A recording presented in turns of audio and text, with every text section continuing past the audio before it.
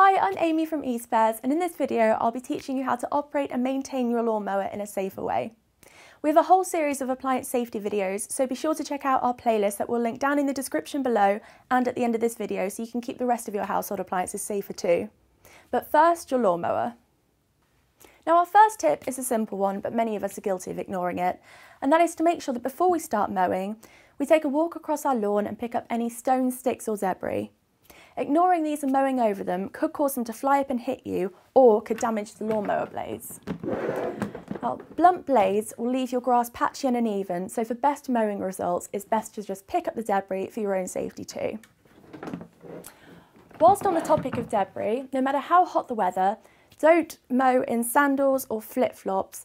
Make sure that you use trainers or old work boots to keep your feet nice and safe. Now we don't need to tell you that water and electricity don't mix. But as your mower is designed to be used outdoors, it is easy to forget that it needs to be kept away from the elements. So be sure to store your mower in a dry shed or a garage, and if it's damp after use, be sure to wipe it down before storing it.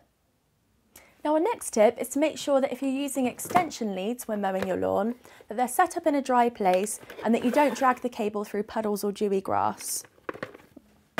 Now it's not really a good idea to mow your lawn when it's wet anyway, as it's harder to mow and it will leave the grass quite uneven.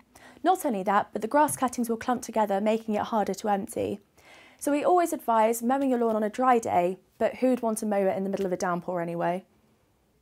Another tip for your electric mower is to make sure that you keep an eye on the cord and make sure it's out of the way. Mowing over the cord isn't only annoying because you have to replace it, but you also run the risk of getting quite a nasty electric shock. But for a bit of added protection when using your mower, pressure washer, power tools or other outdoor appliances, is to use a residual current device, otherwise known as an RCD for short. These devices plug into your sockets or extension cords, and then you can plug in the appliance you're using into them. They automatically turn off the electricity if they detect any changes in the current to keep you safe if anything goes wrong from an electrocution. Now our next tip is to make sure you're always in the habit of unplugging your lawnmower as soon as you finish mowing.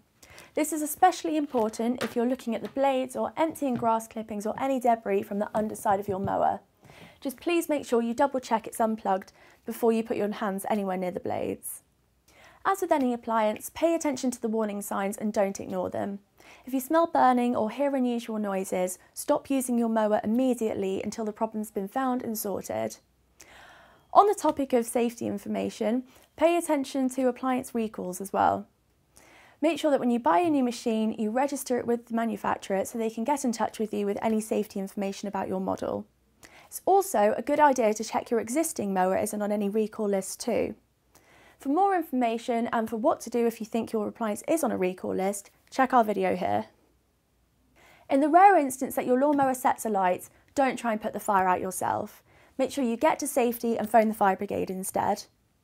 So now hopefully you know a little more than you did before about how to keep your lawnmower safe.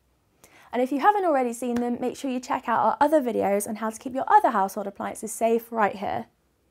Now a little knowledge goes a long way when it comes to your appliances, so make sure you subscribe to our channel for maintenance, repair advice and even product demonstration videos. Thanks for watching!